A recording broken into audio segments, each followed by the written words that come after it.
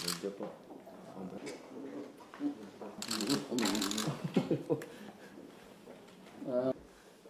Ah, ano po ba dito? Ako.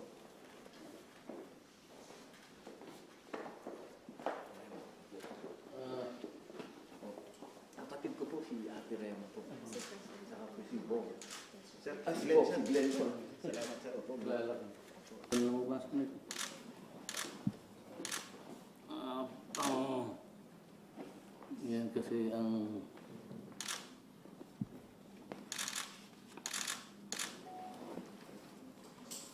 Foregoing considered, we respectfully recommend. Foregoing considered, we respectfully recommend the grant of absolute pardon. The grant of absolute pardon. With full restoration of civil and political rights in favor of Mr. Padilla. Sir, nakapirma na po kayo.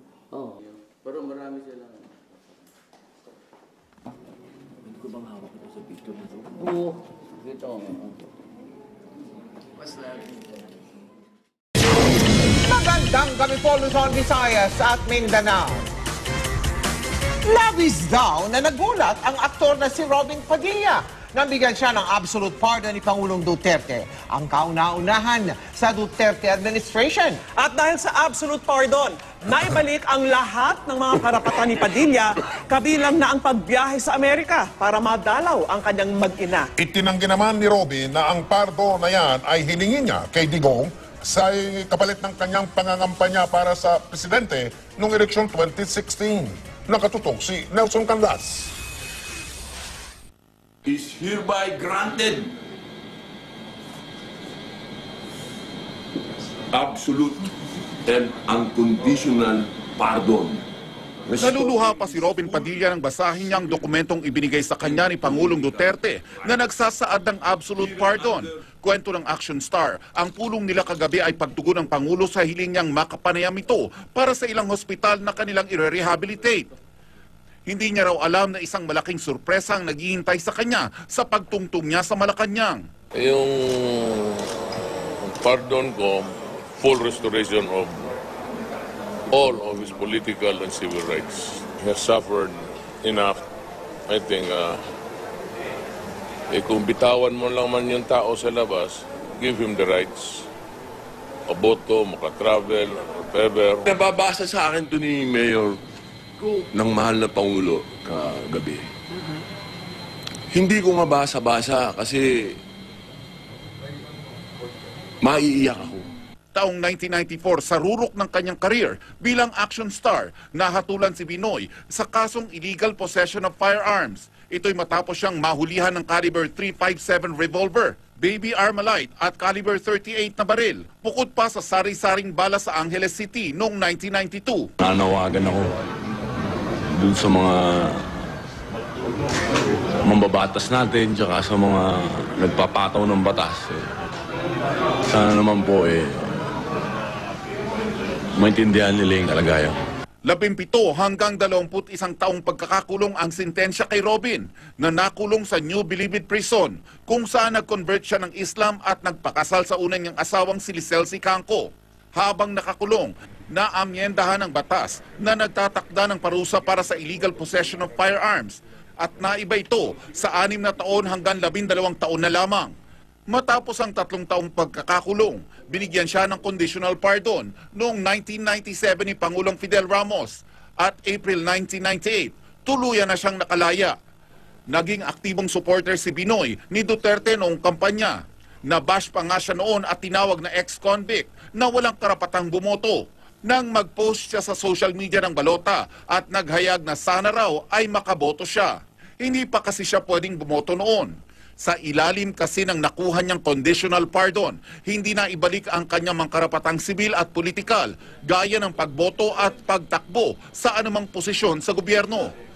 Pero dahil sa absolute pardon na iginawad sa kanya ni Pangulong Duterte, naibalik na ang karapatan niyang bumoto.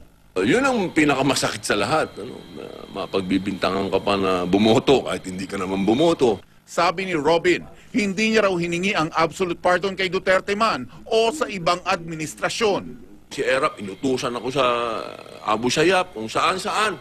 Si GMA, kung saan-saan ako in- inutusan niya. No? Pero kahit isang beses, hindi ako humingi, hindi ko hiningi ito. Hindi, kasi para sa akin, yung serbisyo mo sa bayan, hindi dapat palitan. Ayon kay Robin, hindi niya raw alam na nag-apply ang kanyang manager na si Betchay Bidanes sa Board of Pardons and Parole, apat na buwan nang nakakaraan para sa kanyang absolute pardon. Kung ano man ang naging kasalanan ko sa lipunan, binayaran ko yan ng tatlot kalahating taon sa loob ng kulungan.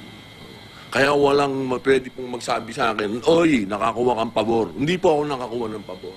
At binayaran ko pa po uli ng 23 years sa labas na yung isang pa ako nandun sa bilibid. Itinuturing ni Robin na pangalawang buhay niya na ito. Halos kasabay kasi ng paggawat ng absolute pardon ang panganganak ng kanyang asawang si Marial sa Amerika sa kanilang panganay na si Isabela. Ayon kay Binoy, gusto niyang bumawi at maging hands-on dad. Mag-apply ng visa. Yan ang unang-una kong gustong, ano, napuno na kami ngayon ng hope, ng pag-asa. Na makasakaling ito ay makatulong na makapunta sa Amerika. Baby, you're a new man, sabi nga nila. At ano pang hihilingin mo ngayon?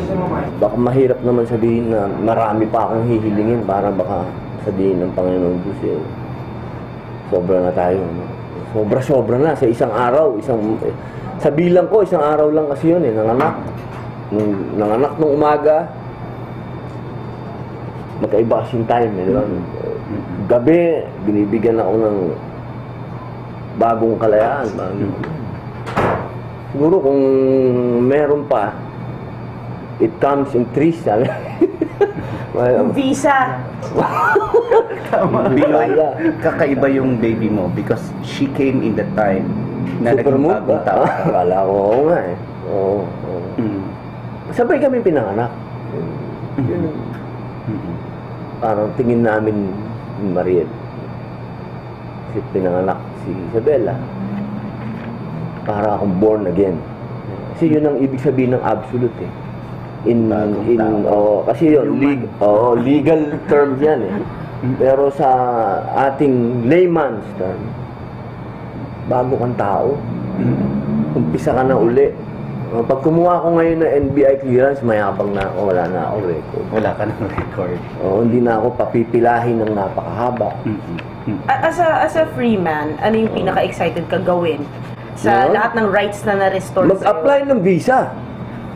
Yan ang unang-una kong gustong, ano, kasi naging trial and failure ako eh. Sa, ang dami-dami kong show Na na pinalagpas. Endorsement na hindi namin nakukuha dahil dyan sa record na yan. At nag endorse ka ng candidate, pero hindi ka Oo, makaboto. yun ang pinakamasakit sa lahat. Ano? Na mapagbibintangan ka pa na bumoto at hindi ka naman bumoto. Yun, yung mga maraming kaakibat, Mm. pare. Dalawang beses nakunan si Mariel, and this is really miraculous. Oh. So, Sa, di how talaga, totoo to. Ito, kasi yung dalawa na yun, pinlano yun eh. Mm. Pinlano niya. Hmm. Talagang devastated si Mariel doon. Nung isa pa lang, devastated na. Doon sa triplex, di lalo. Eto, hindi pinlano to. Kaya talagang ano namin dito, milagro. Kasi wala ito eh. Kung itong nangyari to, kasama to, Kasama yan sa milagro. Back to back. totally, oo, di- defines anong ibig sabihin ng mir- miracle. Kasi, pambihira naman yung timing na yon. Napakatindi naman timing nun. Mm. Kamusta na siya? Pag, Ah, merong konting suliranin eh kasi walang lumalabas na gatas. Gatas. kanya. Oo. Eh, Gusto niya mag-breastfeed. oo. Tsaka isa sa pinag-aralan namin yung importante yung gatas ng nanay. Kaya medyo may konting kalungkutan si Mariel. Dinadala niya hanggang ngayon. Dahil wala pang gatas. Kaya sabi niya, dasal ka pa, babe. Kasi Mm. baka mabigyan ng formula yung bata. Binigyan na nga daw siya ng ano, ng chupon. Umiiyak si Mariel, binigyan na daw siya ng chupon. Yung chupon, ibig sabihin, yung ano ba sa English yun? Milk bottle, Oo. milk bottle. Yung chupon, masyadong Oo. 80s yata. Oo, yun, yung chupon. Eh, malungkot yun. Kasi, Hindi natural. alam mo naman si organic ako,